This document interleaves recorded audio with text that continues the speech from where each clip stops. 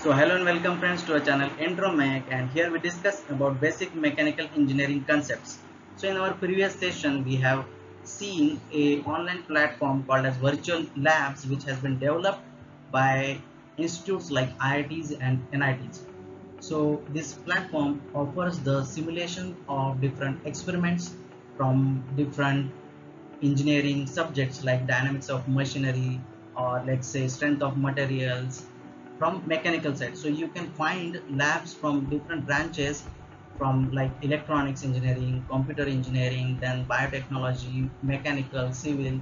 So this platform offers a huge variety of labs with uh, you know simple animations and simulations. So you can learn a lot of things from uh, this online platform. So without wasting time let's check out what this platform is so type virtual labs in the google and you could see the site. So just click on it and you will go to the home page. So this is the home page.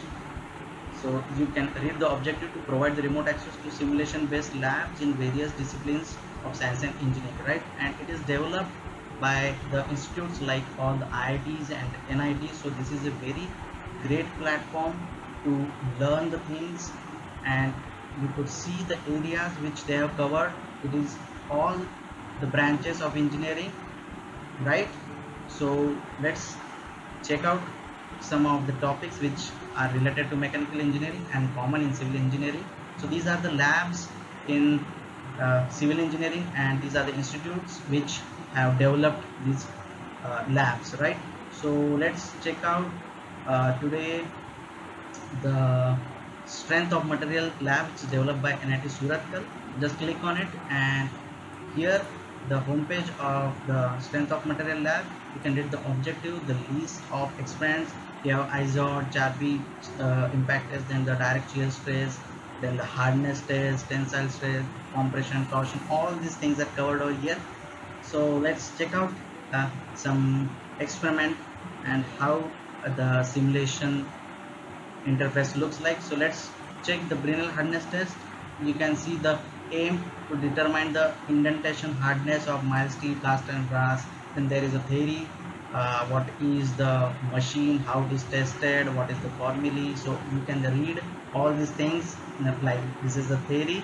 So you can read these things. Then then we have a procedure that how to use the simulation wizard then we have a self-evaluation test. And here it is Brinell hardness test interface. You can read the objective the operators use then the, we have a step one. You can read the step.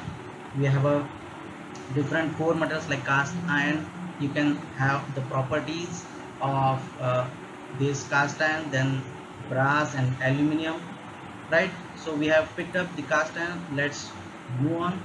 So just follow the arrows and you can read along with that we have loaded the workpiece then we have to give the load uh, to the thing. So it will show just start the machine. So just go there and give the load for say 30 seconds. You can read the step also. It has been mentioned over here like 10 to 15 minutes. Then we have to unload. So just unload the part right? And then we can check the indentation mark we have to take some values from that and then we have to put those values uh, we have measured the diameter of the indentation we have to put those values in the formulae and here we have got the Brinell hardness number of the cast iron right? So this is the trial one and uh, with the similar thing we can you can change the material like uh, first time we have uh, taken the we can have the trial view so always uh, we take some of the trials and then we do the average of that. So that's why we are, are taking the second trial. So in many experiments we do the same thing for a lot of times and then we take the average thing right? So we are repeating the process and then finally we have got the average value right? Here you could see the average Brinell hardness number right? Because we have taken two experiments. So the same thing you can uh, carry out with different materials and you can check out their hardness number Brinell hardness number and you can compare them which is harder one which is uh, like comparatively softer. So this is how you can carry out. You can go beyond uh, you can go backward again. You can go to this simulation thing and now you can go with let's say brass material you have to again carry the same procedure and you can check the hardness of the brass and then you can compare right? So uh, this is how we have carried out the hardness test right? And let's check out some uh, another test. So what we have we have a lot of uh, different tests over here.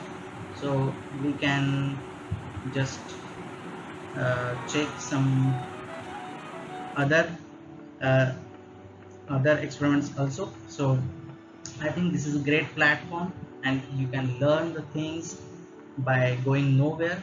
You just have to go on to the web page which is totally free and you can do some steps and you will get the results. You can analyze those results and you can improve your knowledge right? So this is great platform. Try to share it and try to use it so this is it for the today's session and thank you for your patient listening. So if you have any doubts please do write into the comment section. Until then stay home stay happy. Thank